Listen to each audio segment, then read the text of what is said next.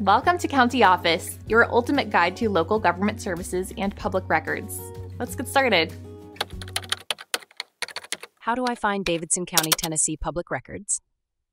Finding public records in Davidson County, Tennessee can be straightforward if you know where to look.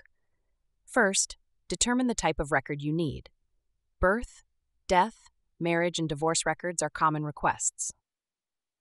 For birth and death records, visit the Tennessee Department of Health's Office of Vital Records. They maintain records from 1914 to the present. You can request these records online, by mail, or in person.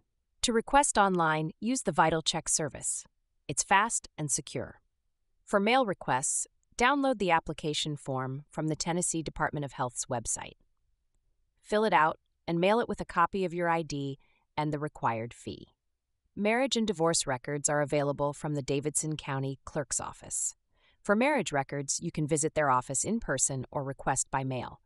They have records dating back to 1780. Divorce records are held by the Davidson County Circuit Court Clerk. You can access these records in person or request them by mail.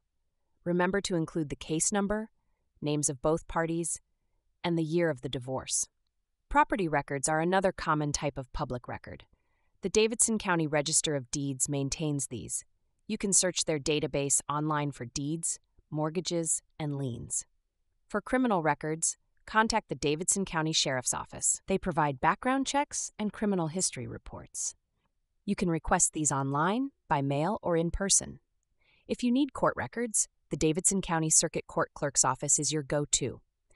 They maintain records for civil and criminal cases. You can access these records in person or online through their public access system. For all requests, have the necessary information ready. This includes full names, dates, and any relevant case or document numbers. Fees vary by record type and method of request, so check the specific office's website for details. Now, let's talk about some helpful resources. These will make your search easier and more efficient.